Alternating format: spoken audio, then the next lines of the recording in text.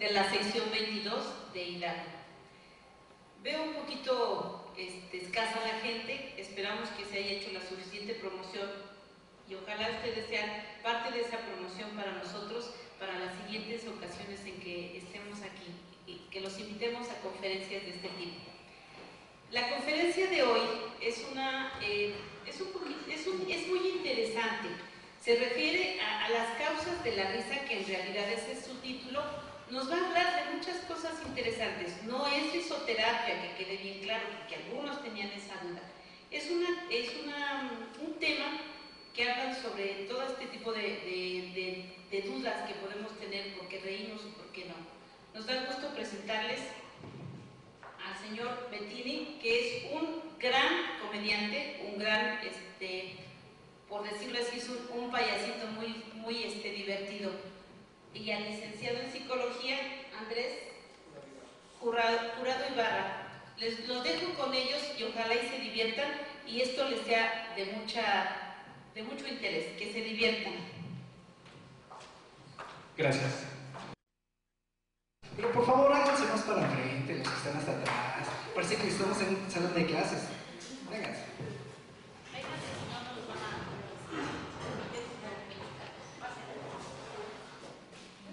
Bueno, pues como ya les, ya, les había comentado la, la, doctora, el tema de hoy es la risa. ¿Quién no se ha reído alguna vez? ¿Una carcajada? No. Muchas veces luego hasta para decir un chiste o comentar algo, creemos que no tenemos ni la gracia para decirlo. ¿O cuánta gente seria no vemos? Pero la risa es muy importante. Les voy a hablar un poquito de, de un autor, de este, es un investigador inglés, se llama Alastair Clegg. Este, este personaje nos comenta que la risa es lo mejor que puede hacer en la vida, reír. Y reír a tal grado que también tiene sus efectos. Es relajante. Una buena carcajada qué rico. Y sobre todo cuando es, la risa es espontánea y sincera. Hay diferentes tipos de risas, igual se va a hacer mención más adelante, como cuando vemos una, que le pasa una desgracia a otra persona, ¿no? nos causa mucha risa. Bien, es muy importante la, risa desde la infancia, ya que para los pequeños pues les ayuda muchas veces en estar reconociendo su medio ambiente. Hacen una, interpretación ellos a tal grado que pues van viendo si es bueno o si es malo. Les ayuda a desarrollar lo que es el, área cognitiva en el pequeño del ser humano. Y en cada uno de nosotros nos damos cuenta cómo también es, eh, hay una teoría que nos menciona este autor, que es una, una evolución que nos sirve de, de la especie del ser humano. Es una evolución el reír, simple hecho de reír. Bien, para esto vamos a, quiero presentarles a un, a un gran comediante, ya igual ya lo presentaron, pero queremos que pase, y va a estar con ustedes platicando y viendo qué causa el reír. Por favor, a Bettini, el comediante Bettini.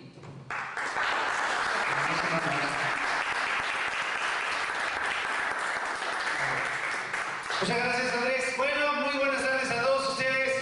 Me da mucho gusto saludarlos, esperando que les, les esté pasando de maravilla en esta bonita, bonita tarde aquí en el Sindicato del Seguro Social. Y es cierto, la risa es muy, muy importante. Yo aprendí desde muy pequeño eh, el valor de la risa.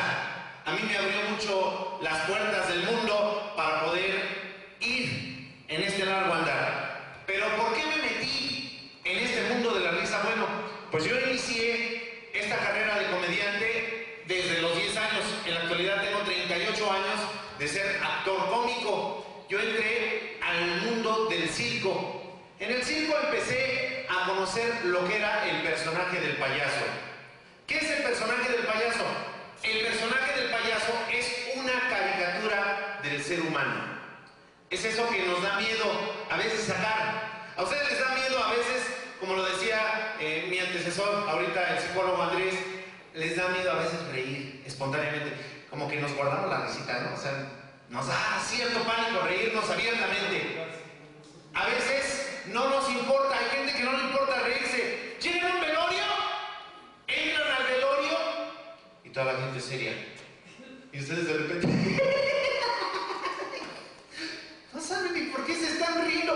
Están riendo, en un velorio, que es donde deben de estar serios. ¿Y eso a qué se debe? A que a veces el motor que dispara la risa no sabe en dónde accionarse exactamente. ¿Sí? Accionamos ese motor de forma inconsciente y salta de manera en la que a veces nos hace quedar mal. Y eso hace que nuestra risa se vea opacada, se vea eh, totalmente eclipsada. Entonces, es muy importante que a través de esta plática que les vamos a dar a todos ustedes, aprendan a diferenciar muchas cosas de lo que la risa es para un ser humano. ¿Qué tan importante es que ustedes como servidores, trabajadores del Seguro Social conozcan la risa? Pues es muy importante porque vivimos jornadas laborales de ocho horas, de ocho horas que son pesadísimas a veces, por muchas circunstancias, ¿sí?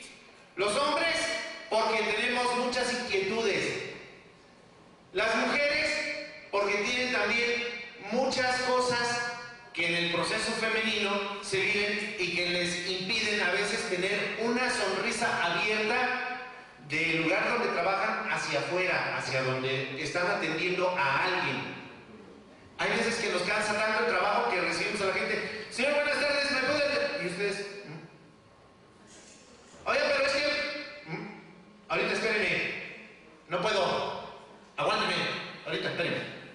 Se dan la media vuelta, se regresan, se regresan y hasta las 500 atendemos a la gente. A la gente que nos está pagando por un servicio, ¿verdad? Y no es un regaño de que esto suceda, es muy normal que esto suceda, es muy común. Yo tuve un negocio donde yo atendía a la gente y la gente llegaba a mí porque afortunadamente como soy una persona dedicada a esto de la risa, pues siempre tenía displicencia para estar atendiendo ese negocio y hacerlo de buen humor, aunque por dentro yo me sentía a veces acongojado o tenía problemas. Pero los problemas o lo que yo tenga en mi interior a la gente que está pidiéndome un servicio no le debe de importar ni le importa. A la gente nuestros problemas le valen, y se los voy a decir claro, le valen un cacahuate. ¿Sí? ¿Por qué? Porque ellos vienen a pedir a nosotros una ayuda, pero una ayuda que puede ser tan sana y tan buena cuando nosotros lo primero que le regalamos a la persona que llega ante nosotros es una sonrisa. La felicidad no es para almacenarse, la felicidad es para repartirla. La felicidad es para compartirla. Y nosotros generalmente almacenamos la felicidad y pensamos que la felicidad no la podemos compartir con los demás. Y la risa está Si ustedes sonríen, imagínense lo feliz que hacen a su estómago, porque la risa regala digestión, regala mucha digestión. La risa aporta a nuestro cuerpo valores que ustedes ni se imaginan, un mejor aprovechamiento de la vitamina E. ¿Qué significa esto? Pues que simple y sencillamente ustedes se van a ver más jóvenes al reír. ¿Y qué mujer o qué caballero en la actualidad no quiere verse y sentirse joven? Todos hacemos miles de cosas por sentirnos jóvenes. Vamos a correr y nos sentimos jóvenes. Respiramos y nos sentimos jóvenes. Pero se nos olvida lo más importante, reír. Y reír hace que el aporte de vitamina E en nuestro organismo haga que nosotros seamos más jóvenes cada día. La risa no causa arrugas, de verdad. La risa, al contrario, nos regala juventud.